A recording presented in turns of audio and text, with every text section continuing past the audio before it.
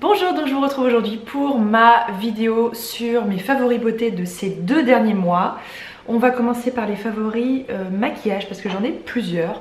À commencer par la crème teintée non grasse de chez Laura Mercier qui est un produit que j'ai porté il y a très très très très très longtemps quand j'étais euh, étudiante à Lyon ou tout juste diplômée dans, les années 2009, 2010, 2011. Il y avait un corner euh, Laura Mercier au printemps de Lyon et euh, c'est une marque que j'aimais beaucoup, pour laquelle je faisais beaucoup d'économies pour pouvoir tester des produits. C'est vraiment une marque que j'adorais et cette crème teintée, je pense que Morgane s'en souvient aussi, on l'a possédée toutes les deux.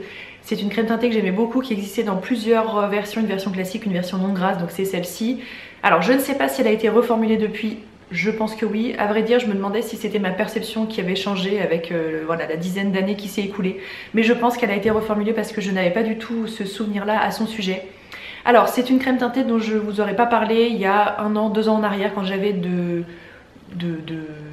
plus sérieux problèmes de peau, quand j'avais quand même pas mal d'acné. C'est un produit qui reste peu couvrant. Si je vous en parle aujourd'hui, c'est parce que ma peau se porte beaucoup mieux aujourd'hui, que j'ai beaucoup beaucoup moins de boutons, de cicatrices, de choses à cacher. Je pense que pour une peau acnéique, en tout cas avec... Euh, pas mal d'irrégularités de teintes, de, cicatrices, etc. C'est probablement pas un produit qui vous conviendra. Mais pour quelqu'un qui cherche quelque chose d'assez léger, d'unifiant, elle est vraiment, vraiment très belle. Je la porte en teinte 1N2, je la porte aujourd'hui. Ce que j'aime beaucoup et ce dont je me souviens pas avec la précédente version, c'est que vraiment elle fusionne avec la peau. L'autre euh, avait cet aspect un peu crème teintée mais un peu aqueux avec des pigments un peu dilués. Là je la trouve plus couvrante. Alors on est vraiment loin d'un fond de teint mais elle est nettement plus couvrante que euh, ce que je pouvais avoir comme souvenir. Elle a ce côté où vraiment elle fusionne avec la peau, je pense que c'est le meilleur adjectif pour euh, vous la décrire. Elle est euh, très très belle. Voilà, si c'est un produit que vous avez apprécié par le passé, je me permets de vous en reparler. c'est un, un chouette produit teint qui a un SPF 20 pour information. Euh, toujours dans le maquillage, j'ai ressorti alors un, produit que j'adore, dont on a un peu parlé à sa sortie et je trouve qu'il est complètement passé aux oubliettes. Et c'est dommage parce que c'est un super produit, c'est le stylo 4 couleurs maquillage yeux et lèvres de la marque Clarins qui ressemble ni plus ni moins un bic 4 couleurs tout simplement. Euh, ce produit est très bien pensé parce que vous avez donc 4 teintes, 3 pour les yeux et une pour la bouche. C'est le seul défaut que je lui trouve. Vous avez vraiment un, crayon un peu beige nude pour la bouche. Bon moi c'est pas quelque chose que j'utilise au quotidien, j'aurais préféré avoir 4 teintes pour les yeux. Et ensuite vous avez 3 teintes pour les yeux qui sont à, placer de cette façon là. Vous voyez que ce système qui est vraiment comme un 4 couleurs. Vous avez un noir, vous avez un vert très foncé et un bleu très foncé. Ça sort par la mine qui est ici, il suffit de tourner la base blanche pour faire sortir le produit. C'est vraiment un outil qui, est très très bien pensé. Je crois qu'il a été euh, sorti en plusieurs versions, plusieurs teintes. À vrai dire, je ne sais même pas s'il existe encore, mais j'essaierai de vous trouver un lien. Et si je ne trouve pas de lien, surveillez tout ce qui est vente privée, etc. Parce que peut-être que le produit a été arrêté par la marque. Mais à glisser dans sa trousse de maquillage, ça prend peu de place et vous avez quand même 4 couleurs à l'intérieur si vous vous servez de celle pour les lèvres. Moi c'est vrai que c'est pas mon cas, j'aurais préféré voilà 4 couleurs pour les yeux. Mais c'est un très très bon produit, les crayons tiennent bien, la pigmentation est au rendez-vous, ça coule pas, la mine est très précise. Vraiment un super produit. Ensuite, alors un, produit que je ne pensais pas du tout apprécier, j'ai reçu euh, de la part de Charlotte Tilbury plusieurs coffrets de Noël et je suis tombée amoureuse, alors je suis retombée amoureuse d'un produit que je vous présente après et je suis tombée amoureuse de ce produit qui est le mascara Pillow Talk Push Up Lashes. Alors j'ai pas entendu que du bien euh, des mascaras Charlotte Tilbury, même euh, j'ai même souvent entendu plutôt du mal. Celui-ci j'avoue que je n'avais jamais vu de revue à son sujet mais je pense plutôt au Legendary Lashes et un autre dont j'ai oublié le nom. Euh, donc je l'ai reçu en miniature.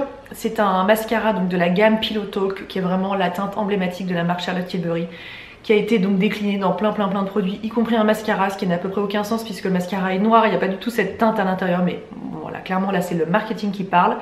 Donc je l'ai dans la teinte Super Black et c'est un mascara qui est incroyable, c'est celui que je porte aujourd'hui. Alors, il est, il pas waterproof mais il est pas vendu comme waterproof donc il n'y a pas de souci, mais il est quand même assez difficile à démaquiller et moi je trouve qu'il tient très très bien la courbure. La brosse est parfaite parce qu'en fait elle est un peu plate, on dirait une... Euh, comment dire, on dirait un peu une, spatule. Donc vous pouvez vous servir du côté plat pour déposer de la matière, puis ensuite vous avez les deux côtés un peu peigne pour venir répartir le produit. Voilà, je me rapproche à nouveau, je sais que ces plans font très très peur quand je fais le montage, à chaque fois je me dis mais pourquoi tu fais ça? Mais euh, comme ça vous le verrez, il apporte beaucoup de volume, euh, le pigment noir est justement bien pigmenté, bien noir, c'est un mascara que je trouve incroyable et euh, pour lequel je n'avais aucune attente. Vraiment, je l'ai reçu dans le coffret, je me suis dit je vais tester, mais vu que j'entends pas souvent du bien des mascaras Charlotte Tilbury, j'étais partie en me disant que ça serait pas génial, mais vraiment il est incroyable. Je pense que je le rachèterai une fois que j'aurai fini cette miniature. Toujours dans le maquillage, alors un blush euh, que j'ai depuis, mais pareil ça doit faire bien 10 ans que je l'ai. Il se présente d'ailleurs plus comme ça aujourd'hui. C'est le blush Rosy Glow dans la teinte 001 Pétale qui est donc un rose de la marque Dior. Alors il se présente plus comme ça aujourd'hui, il ressemble plus au packaging Dior Backstage avec euh, le monogramme sur un, étui un peu transparent. Bon bref, c'est un peu différent, je vous mettrai un lien euh, sous la vidéo. Ce blush, c'est euh, Paola Carla que vous suivez peut-être sur Instagram qui m'a donné envie de le ressortir. Elle en parle très souvent et c'est vrai qu'il est absolument incroyable. C'est celui que je porte aujourd'hui.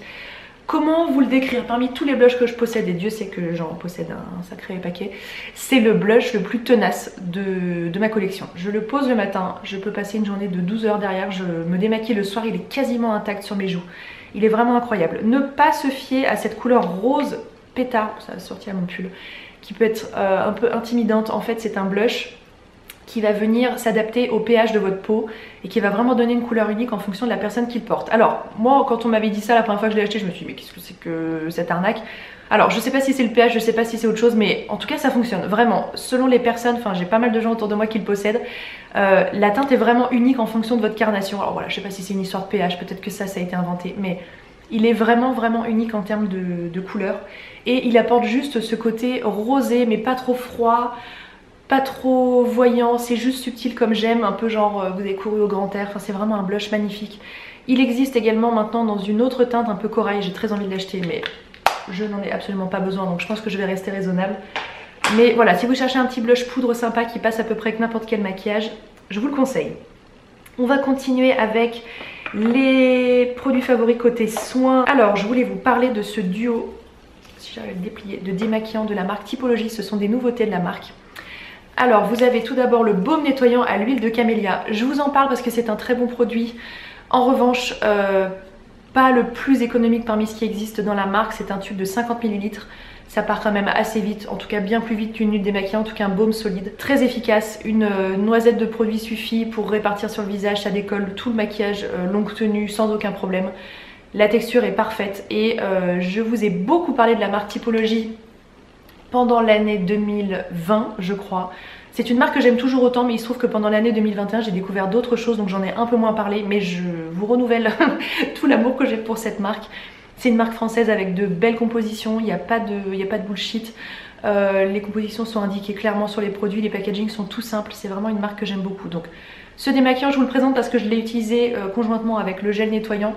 Il est très bien, mais peut-être voilà, sur l'aspect économique, c'est peut-être pas euh, le plus intéressant. En revanche, celui-là est vraiment à l'inverse, est complètement... Euh, est beaucoup beaucoup plus intéressant côté économie de produit. C'est le gel nettoyant PHA 5% et aloe vera. Ça fait vraiment un moment que je m'en sers et j'en suis ici. Il vous faut vraiment l'équivalent d'un petit poids pour répartir sur votre visage c'est une texture très visqueuse euh, qui glisse sur le visage donc ça se répartit très bien, ça mousse un tout petit peu. Le PHA, je voudrais pas dire de bêtises, est un, agent exfoliant mais beaucoup beaucoup beaucoup plus doux que les AHA, les BHA, les acides de fruits, ce genre de choses. Donc si vous avez la peau très sensible et que vous voulez quand même un nettoyant visage avec ce petit truc en plus qui va venir exfolier la peau, euh, voilà, favoriser le renouvellement cellulaire, je vous conseille de vous, de vous tourner vers ce type de produit. À vrai dire, on voit vraiment les propriétés exfoliantes du produit sans jamais ressentir un inconfort ou un tiraillement ou quoi que ce soit. C'est un super produit. Donc voilà, parmi les deux, je vous conseille vraiment vraiment celui-là si vous voulez acheter qu'un seul truc. Et si vous avez envie de la routine de démaquillage complète, le baume est excellent. Vous avez aussi une huile démaquillante chez Typologie dont je vous ai euh, déjà parlé qui est vraiment euh, très bien. Voilà, ce gel nettoyant fabuleux. Chez Typologie, euh, il pratique des prix que je trouve euh, très raisonnable pour la qualité des produits. C'est vraiment une marque que je vous invite à découvrir euh, si vous la connaissez pas. Ensuite, toujours soin visage, je suis en train de finir, il me reste vraiment très très peu, le sérum Bye Bye Dark Spot de la marque It Cosmetics. Alors It Cosmetics s'est lancé dans une euh, gamme de sérums visage très complète. Je crois qu'il y a 4 références, j'ai reçu les 4, c'est le seul que j'ai testé jusqu'à présent mais j'en suis vraiment ravie donc j'ai hâte de tester les trois autres. Donc c'est un sérum concentré qui contient 4% de niacinamide et 1% de vitamine C qui va venir redonner de l'éclat à la peau, éradiquer les taches, etc. J'ai vu de très très très bons résultats sur euh, bah, l'éradication des taches, justement des cicatrices. J'en avais pas mal sur le menton, ça m'a beaucoup aidé. Ce côté unifiant, moi le niacinamide c'est vraiment un actif qui fonctionne très très bien sur ma peau. Euh, j'ai de très très bons résultats avec euh, quasiment tous les produits que j'ai pu tester et qui en contenaient. Donc c'est une, euh, une, sortie très récente de la marque. Je crois que ça cartonne dans le monde entier. Je me demande s'il n'y en a pas un qui se vend toutes les 30 secondes ou un truc comme ça. Enfin, c'est une, une vraie réussite. Donc si vous avez des soucis voilà, de, de teint un peu brouillé, de teint un peu terne, de, de marques sur le visage, je vous invite vraiment à le tester. Et puis j'aurai l'occasion de vous reparler des, des autres sérums de la marque. En termes de texture, je vous ai pas dit, il est parfait, un peu aqueux mais du coup se répartit très très bien. Il n'y a pas besoin d'utiliser une quantité de produits astronomiques pour répartir sur le visage. Très agréable à utiliser. Moi je m'en suis servi le soir mais j'aurais très bien pu m'en servir le matin avant de me maquiller. C'était juste, euh, voilà, dans ma routine ça m'arrangeait comme ça. vraiment un très très bon produit. Et ensuite je suis retombée amoureuse parce que je crois que c'est le troisième pot maintenant que j'utilise de la Magic Cream de la marque Charlotte Tilbury. Donc j'ai reçu la version euh, Noël avec des strass et tout. Donc euh, chez Charlotte Tilbury c'est toujours euh, du rose gold, des strass, des paillettes. Enfin voilà c'est très très très très girly, très fifi. voilà donc ça on aime ou on n'aime pas mais en tout cas le produit est excellent. Cette crème je la connais depuis plusieurs années. C'est une très bonne crème pour le visage que je ne conseille pas à tout le monde. Contrairement à ce que peut dire la marque, je crois qu'il la conseille pour tous les types de peau. Moi je dirais peau normale à sèche, vous allez l'adorer peau grasse, peau mixte, c'est quand même une crème qui a un aspect un peu lumineux. Alors il n'y a pas de paillettes, elle n'est pas grasse, je peux pas expliquer, mais elle reste quand même assez lumineuse et je pense qu'une peau mixte ou une peau grasse ne s'y retrouvera pas forcément. Elle a vraiment une texture de crème fraîche, comme la crème fraîche de chez euh, Nuxe d'ailleurs. Une texture très réconfortante qui vient vraiment nourrir la peau. Euh, c'est une super super super base de maquillage, vous avez un SPF 15 à l'intérieur pour information. C'est une, euh, très belle crème pour le visage que je vous invite à découvrir. Je crois qu'elle existe aussi en format miniature si vous voulez la tester sans investir euh, trop d'argent. Je suis vraiment ravie qu'elle revienne dans ma routine parce que c'est un produit que j'ai utilisé pendant très longtemps et euh, je l'aime beaucoup. Elle a une odeur aussi qui est assez addictive. Il y a une odeur un peu de, de musc, un peu fleur blanche qui est très très très agréable. Je suis contente de l'utiliser à cette période de l'année parce que ma peau a vraiment besoin de, voilà, de nutrition, de lumière, etc. en ce moment. En plein été, je suis pas certaine que ça soit une crème vers laquelle je me tournerai, mais là, euh, au cœur de l'hiver, elle est absolument parfaite. Côté corps, le produit dont je voulais absolument vous parler, c'est l'huile de douche lavante à l'huile de graines de tournesol bio, rien que ça, de la marque La Rosée. La Rosée, c'est une marque que j'aime beaucoup. Et euh, je ne sais pas pour quelle raison, mais ça fait... Enfin si, je sais pour quelle raison, mais il y a plein d'autres marques qui sont comme ça. C'est une marque en laquelle j'ai confiance.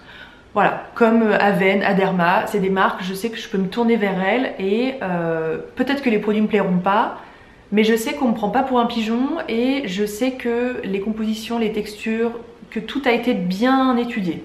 Voilà, pour moi la rosée fait partie de, ces marques-là. Et donc j'ai reçu récemment cette huile lavande qui est parfaite. Alors bah déjà j'adore tout ce qui est huile lavante, j'en utilise depuis des années, principalement en hiver. Quoique en été aussi parce que je trouve que c'est agréable des fois de se laver avec ça quand on a plein plein de crème solaire pour justement euh, euh, retirer les filtres solaires, je trouve que c'est sympa aussi. Elle a la texture parfaite, pas trop épaisse, euh, mousse un tout petit peu, apporte tout de suite du réconfort sur la peau. Pour autant on se sent quand même propre dans le sens où elle mousse un petit peu, l'odeur est hyper agréable, je pense que j'aurais un peu de mal à vous la décrire. C'est une odeur qui est assez assez euh, simple, pas dans le mauvais sens du, terme, dans le sens où c'est pas étudié, mais c'est une odeur qui plaira je pense à, tout le monde. Il y a une toute petite euh, senteur un peu fruitée. Elle est parfaite et euh, je m'en suis servi également dans le bain. Vous mettez quelques pompes sous le robinet d'eau pendant que l'eau coule. Ça vient donner un côté un peu plus réconfortant, un peu plus nourrissant à l'eau du bain. Ça mousse un tout petit peu. Enfin, c'est vraiment un produit qui est incroyable. Vous avez ce gros bidon du coup de 400 ml. Je pense que toute la famille peut s'en servir. Je m'en suis pas encore servi sur Inès, mais je le ferai vraiment euh, sans aucune difficulté. On retrouve la marque sur leur euh, e-shop et on retrouve la marque également en pharmacie et ils avaient une super offre euh, dont je ne me souviens plus exactement des détails mais je crois à partir de 29 euros d'achat j'espère que je dis pas de bêtises je vous remettrai ça sous la vidéo dans la marque La Rosée, vous aviez un petit pochon en collaboration avec des petits hauts avec euh, un savon pareil qui a été réalisé en édition limitée à l'occasion de, de cette opération. Ça se retrouve du coup en pharmacie, parapharmacie et sur le site de la marque. Euh, je crois que le minimum d'achat c'est 29 euros et je crois que c'est dans la limite des stocks disponibles. Mais euh, je vous remettrai ça sous la vidéo. J'espère que je vous dis pas de bêtises. voilà, si vous aimez ce type de produit, vous pouvez foncer. cette huile de douche est incroyable. Et les deux derniers produits dont je voulais vous parler, c'est tout d'abord un parfum, le lot de parfum Ika Jasmine de la marque Erin. Erin qui est la petite fille de Estée Lauder, donc quelqu'un qui ne vient pas de nulle part en termes de, cosmétiques, etc. Qui a donc lancé sa marque de parfum, ça fait un bon paquet d'années maintenant. J'aime beaucoup, beaucoup, beaucoup les parfums de cette marque.